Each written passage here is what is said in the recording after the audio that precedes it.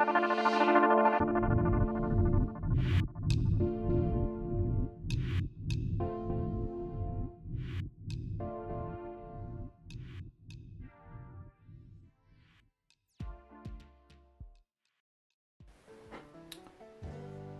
back to the channel. Today we're going to be tying up another bass jig in the color Fool's Gold.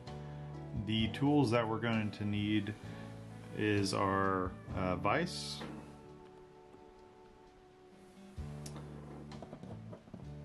a fine tipped pair of scissors,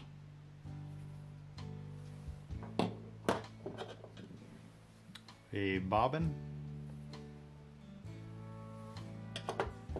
And then I have a uh, pair of, of snips that I use to, to cut the wire with.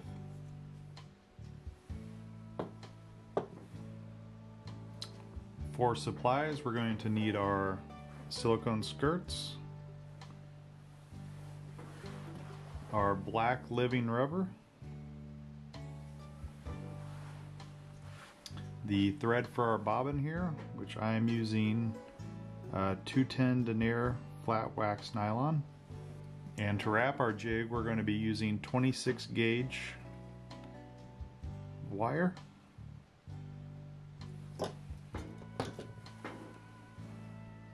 Alright, the first step is to go ahead and secure your jig head in the vise. Uh, we already painted up our jig head here. Uh, you can see it's it's a black jig head and I, I threw some gold flake in it as well to kind of match our theme of uh, fool's gold.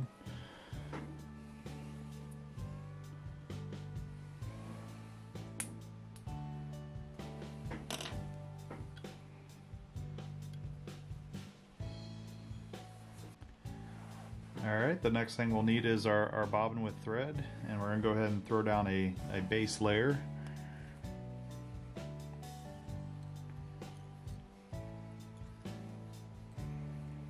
And I like to finish that off with a uh, quick little loop knot here.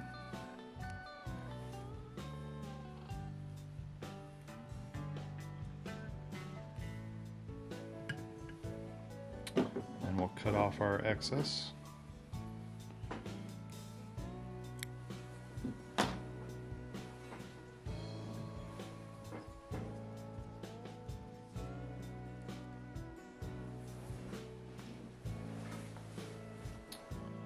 Now you'll need to grab one of your uh, silicone skirt tabs here. And we're going to lay that, you grab about kind of the middle point of it, right, right about here.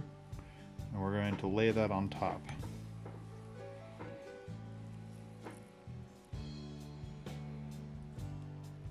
Once you kind of get it about the halfway point, we'll go ahead and secure that with a couple wraps.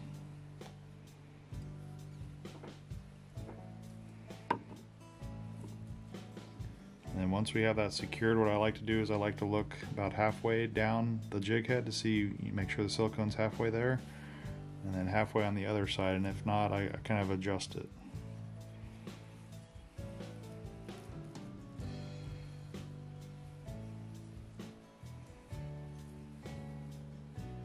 So we got that the way we want. So now we'll grab our living rubber, and I'm actually going to break off a portion of it. Uh, in about, I don't know, about 10 strands or so. Something about like that. And I'll do that one more time. So we end up with three pieces from it, but we're only going to end up using two of those. Now that we have our, our living rubber strand, we're going to lay that on top. Again, finding kind of the halfway point here. And then we'll secure that on with a couple wraps.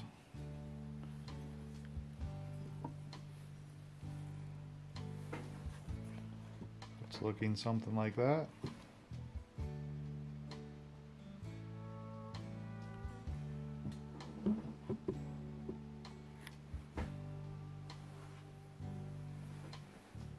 At this point I like to uh, grab a little hair tie and secure the back part of it. And then we're going to rotate our vise. It's looking like that.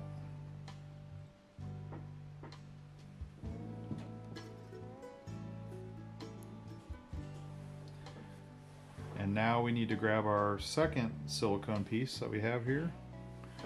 We're to do the same thing. We're going to find the, the halfway point of it. And place that where we've been wrapping. And then go ahead and do a couple wraps around.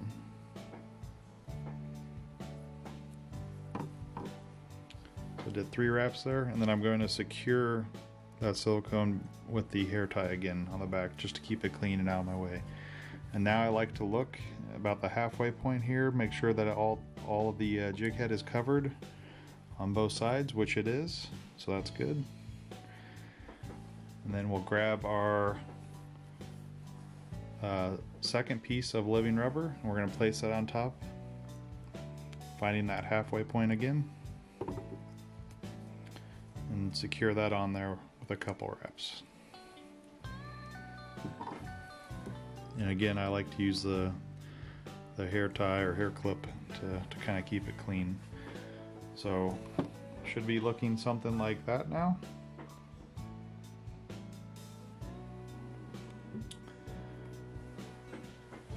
At this point, we're ready to uh, go ahead and finish up the tying process.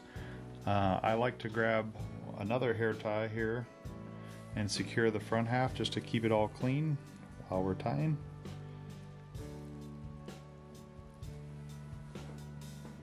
Then I rotate it back around,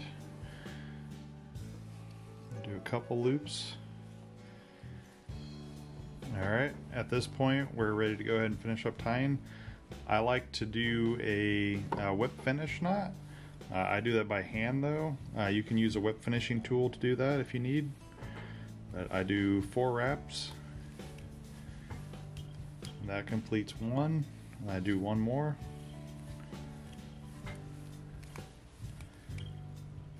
That's two. And that, that is the uh, end of the thread here. We're, we're done with that. So I'm going to go ahead and snip that off.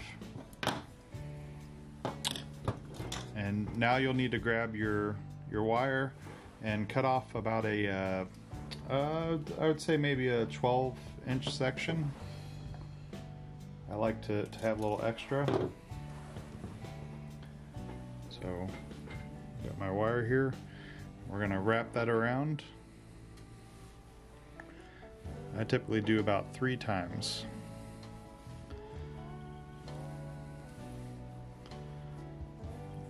Pull that snug, and then we'll twist it.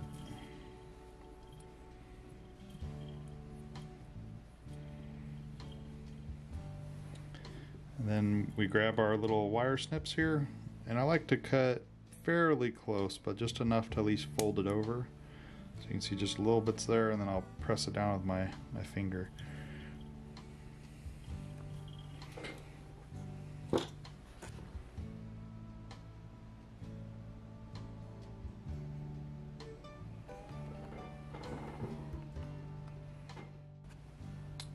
So at this point we've uh, fully tied our jig and all we need to do now is separate the uh, individual uh, living rubber strands. So you'll have to take this and I, and I like to pull it tight and then use my fingernail to grab each of the individual strands and then I kind of pull it off to the side there to fully separate it.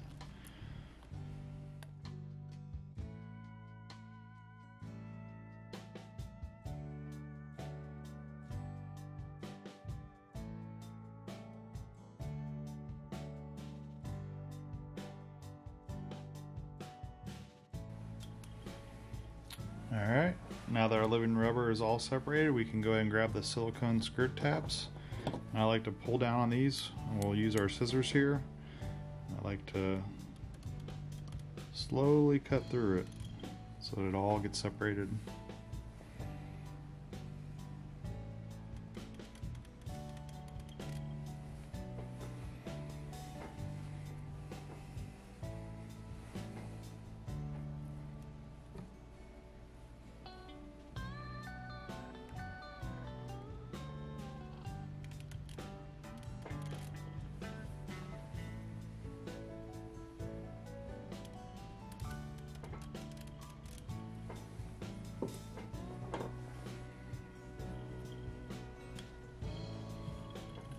Take your jig out of the vise. I like to flip it upside down and kind of fan out the uh, the skirt.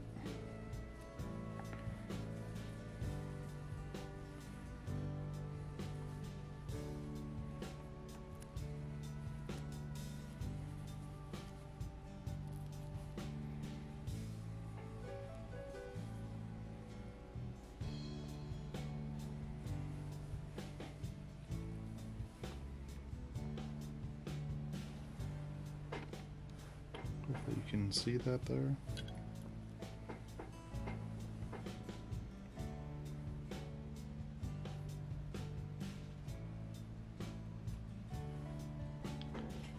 The last step is to go ahead and glue in our, our fiber weed guard. So I like to use uh, some super glue for that.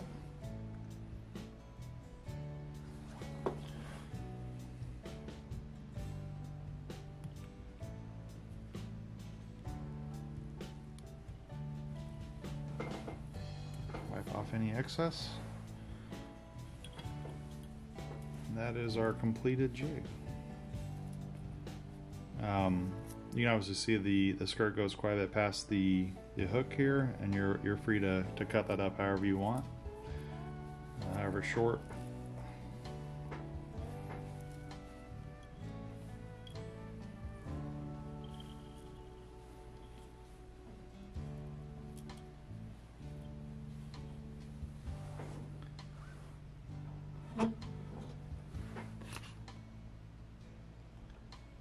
That is our completed jig.